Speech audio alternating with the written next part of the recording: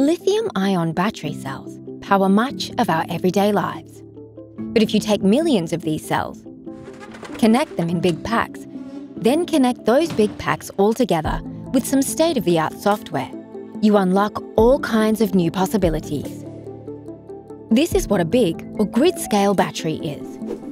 But big batteries have massive benefits that aren't so obvious. Our national electricity grid operates at a stable frequency in response to power supply and demand. But conditions can change, and when they do, big batteries get to work fast, keeping the frequency at a stable rhythm, just like a metronome. This keeps electricity flowing in perfect harmony. This ability to quickly react to problems in the grid makes big batteries unique, especially in emergencies. If an emergency was to happen, backup coal and gas-fired power stations kick into gear. But their heavy machinery can be quite slow to react.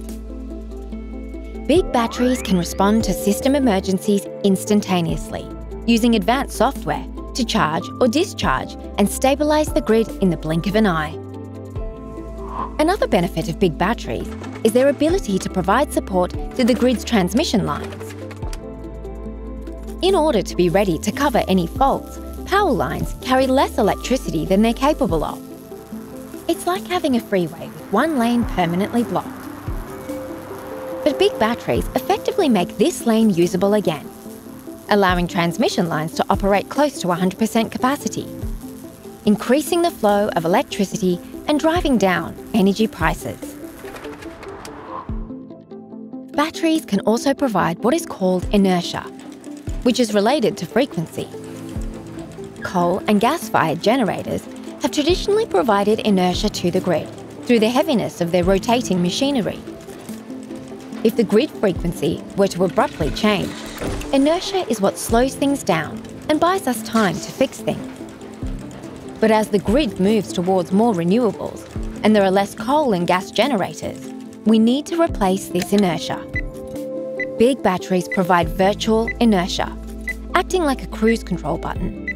It's a digital response, meaning it's super fast. It's another role that batteries can play in our future grid as it transitions to more and more renewables. And more low-cost renewable energy in our grid is a win-win for our energy bills and the environment.